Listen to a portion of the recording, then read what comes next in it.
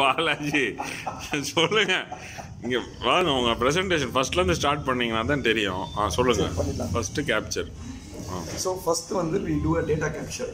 Once the data is captured, the data that we capture includes uh, the purchase data, the engagement data, and also the customer uh, uh, customer data. Once all this data are captured, it we analyze the data. The analysis includes various facts, which includes one-to-one personalization, and also we do run it through various machine learning algorithms to identify the demographic, psychographic, and other related patterns. Once the analysis is over, we try to personalize the engagement with the customer. So the next step is to once the data is available about each and every customer, the customer is scored, put into various buckets and segments, identified based on demographic, psychographic data. It goes into engage. So this is the space where we engage with the customer through various uh, channels, which includes uh, email, text, Facebook, uh, and uh, mobile pushes, and various other uh, other factors. Even we also have integration to other CRM platforms. So once this is uh, engagement is done, so we also have a measure. So how much has been your engagement? So we measure your engagement. Once the measurement is done, again the same thing goes back to this old cycle where we again capture the data. Mm-hmm. Goes through the internal process. Now, personalization, how do you do it? So, personalization, the, uh, uh, personalization basically is based on the per- products that have, they have purchased. Okay, the product they have purchased will be compared with various other uh, uh, customers. So the people, so we group the customers into different uh, aspects. So assuming that you have made a purchase today, we assume that your uh, profile compares your purchase pattern compares that with of X and Y. So that is high likely, highly likely that if you have purchased product X, there is a high chance that you will be purchasing the product Y and Z. So this is the first level of uh, personalization we do. The next level of personalization is basically based on uh, demographic. Say for example, if you are a customer from Chennai, say you are a customer from um, uh, Anna Nagar, your purchase pattern might be totally different from that of a person who comes from uh, Madipakkam or other uh, area. So we identify based on your uh, demographics also and then psychographic. A woman uh, might the, buy, the buying pattern of a woman might be totally different from that for a, of a man. So Right. it will be totally irrelevant to send a contextual content for a men's product to a woman or a woman's product to a man, on even on a certain age group. So all those kind of segmentation happens through the uh, product. So, so with all these things in hand, we also do several several uh, types of analytics also we provide the customer. One, the first and foremost analytics that we provide is the behavioral analytics, which includes uh, how much, what is your percentage of repeat customer versus your free, uh, versus your uh, one-time customer or a low-level customer, and then we go identify the trend analytics. What what kind of trend has been going there in the market in the last uh, uh, trend analytics. We also do if you have multiple stores, we also do a cross-store analytics and we also have a forecasting module where we will be able to identify what your high product high value products are selling. And those uh, we also identify what are the predictions for the next few months for those products also. Products or services in some cases. See, one big, big, question, important question I want to ask you is that this, is this product is going to be only for big data, or is it going to be for even for uh, companies who don't have much of data? uh, ideally we come in the retention space where we don't uh, normally we are not a product for the acquisition space. So once uh, as uh, as most of us know there are three phases of a customer journey. One is the acquisition phase retention phase and monetization phase. We our product is best suited for retention space where people have been in the market for a few years and who are trying to who are struggling to find new customers or who are struggling to retain their customers. That is the best place where our product will fit in okay uh, so So this will fit in for more like a loyalty program, uh, companies where you already have sales numbers, huge number volume of sales numbers, where I can have a uh, understanding of whether the customer will be coming back again to my store or will I be able to sell more other set of products, upsell or cross sell things into the same set of customer target groups or something. Will that be the kind of uh, solution that it would, this product will fit into? Yes, it could uh, definitely fit into that area. Plus, uh, there are various other things where we will be able to optimize some of their sales and marketing processes. Uh-huh. What do you mean by sales and marketing process? Sales and marketing processes, how, say for example, if Mr. Bharat comes into my shop today, say for example, I am a Okay, if Mr. Bharat comes into my uh, salon, based on my yearly analytics, I find out whether he is a champion customer or he is into he fits into which bucket.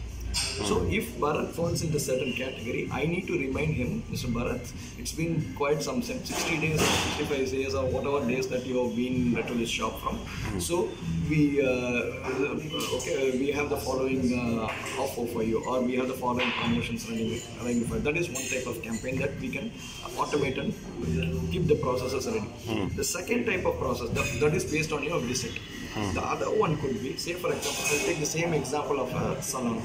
Say for example, I go for a hair dye. So at the end of the 30th day of the hair dye, hmm. I might be, I might need to sell, upsell them on shampoo. Hmm. Okay, so those kind of product-based triggers can also be configured. So, and another type of use case also I will say. For example, if a salon is there, they have a, uh, a, a multi-stage package, which means that uh, they have a spa where uh, the customer has to come and visit every one month or every 40 days or 30 days depending on which stage of the package they are in. So for that particular product you can set up an engagement model where you can go and engage with your customers, set up uh, automation. How do you engage with them? So there are multiple ways of engaging. One is through the emails, the other one is through uh, text messages. Uh, text messages can also be customized to send e-postcards where you will be able to uh, pre-configure some uh, deals and combos. Uh, that could be uh, sent to the uh, customers through e-postcard where it will be like a bitly type of uh, uh, solution where it but it will be much more personalized to a particular customer. Whatever is personalized, they will be seeing on the screen. Okay, so uh, so e-postcard kind of a thing. You can also engage with them through Facebook. You can send targeted communication to them on Facebook. Or if you have a mobile app, we can also push it through the mobile app for them. So there are multiple ways of engaging with the customer. S- Certain other customers also like uh, also have some module. If you are say a grocery shop or No, something. no, no. What, suppose a company who actually needs to do work on more of an acquisition portion. Like you know, you said more. You said it's more about you have already have data which has been captured and you have, and in that case probably your product will definitely fit in, right? Now, suppose in case of people who actually acquire, you have to acquire new set of uh, customers. Now, what do you suggest? Like, how do you think you can? Will this system will uh, uh, plug into other platforms where the acquisition can be done? Yes, one of the One of the example, example. Can you give me an Yeah, sure. example? I'll definitely give an example. One of the core strengths of the product is segmentation. Okay, the first is to segment the customers. Hmm. Once we identify the segments of the customers, we also have an integration with Facebook and Instagram, say social hmm, media hmm, integration. So once if you use the social media integration, this segmented data can be created as groups within Facebook and given as a seed audience there. Once the seed audience is given, we can also build a lookalike object Look using like audience yeah. lookalike uh, object for those audience on the Facebook. on Facebook, and uh, based on that lookalike audience, you can apply your own filters based on that. Once you put those filters, the chances of you reaching the right audience is much significantly higher than you running a generic campaign, which would these days uh, nobody, uh, no digital marketer can commit. This is the percentage that I would give uh, uh, a return on your ad spend. But in our case, the target will be exactly right. With since we are segmenting the customers, we are also identifying what are the high selling products that are uh, available for those particular segments. So, given that particular fact, you can also take the right product into the uh, Facebook, maybe create your own creatives or use the same creatives that are available as carousel ads and s- and swap those ads and identify your best target mar- uh, uh, market that are av- av- Who do you think the ideal uh, prospect for you? Any customer facing business who have been in market for a few years are the right customers for us. Okay. Uh, what kind of businesses are they? Are they small or medium or large? um, size doesn't matter, but uh, at least a minimum of uh, say five to six thousand customers with uh, hundreds of hun- uh, few hundreds to several hundred products. These is the ideal customer that uh, would be- be- benefit immensely from this particular product. Not necessarily like uh, a huge supermarket or something like that. Anything, anything that is small to mid to uh, the biggest. Now there is a, there is a company which is uh, right now, let's say for example, venturing into online space. Right? Maybe they come out with the WooCommerce, uh, e-commerce, uh, with the you know WordPress or developed a site. Uh, they are going to launch, and maybe they go for multiple uh, campaigns, whatever, like you know on social media and things like that. Now, if they want to have your uh, system plugged in along with their uh, existing uh, content management system and the CRM and all those things, will will you be giving them a opportunity to experiment your product? And uh, what will be the price point at which they can acquire this uh, you know product? Price point is a subjective matter which we will cover it at a later point of time. Right. But they, I can explain you the advantage that we have for any e-commerce company that are going. This product was originally developed for e-commerce companies. So what it essentially means is, uh, the, uh, there are few things that they can take. Literally, they can take a huge advantage of. One major thing that we have built uh, built for them is um, something called a multi-stage abandoned cart management. Particularly, say for example, WooCommerce, Shopify, or Magento customers can instantly use our plugin to identify uh, the abandoned carts where they will be able to retarget their customers who have abandoned their cart. And that we have powered it with AI. That means that they have a five, four or multi-step process, four or five steps where Right. they can periodically contact them and Yeah. try to bring them back Yeah. uh, as customers. So that is one advantage that an e-commerce company would have. In fact, you know, the abundant, uh, you there is no way to stop people to actually go up to the point of, you know, go up to the abandoned cart. I Mean you mean to say checkout? And most of the customers might not actually go and buy. The simple reason is that they have to actually come back to again to the site again and again, and it will make a purchase decision. The purchase decision always happens after at least some couple of times to come back again. But in the so I think maybe your product will be very much useful for the e-commerce company to make sure the customers come back again and again. Correct. Am I right? So it is like it can be used as an engagement tool. Absolute engagement Ah. and second point that is very so abandoned cart is a very uh, powerful feature Hmm. second thing is since we segment the data you can decide on your offers and target when your customer comes to this site Now uh, I, another one important question I would like to do the segmentation. How does it happen? Based on what? so so there, there as i uh, initially told in my uh, beginning uh, beginning so there are multiple factors that affect the segmentation the basic the fundamental uh, segmentation is through how recently they have visited Uh-huh. okay the, if the customer has visited you sh- recently Recently, that is a probable chance will- recency. So recency is one of the segmentation factors. segmentation factors. Second is how frequently they are engaged with your brand. The people who engage more with your brand are likely to be your champion customers. So they have a trust in your How brand. do you measure the uh, engagement uh, factor? Like you know, how frequency of engagement? Freq- uh, the recency is based on when recently they placed the order.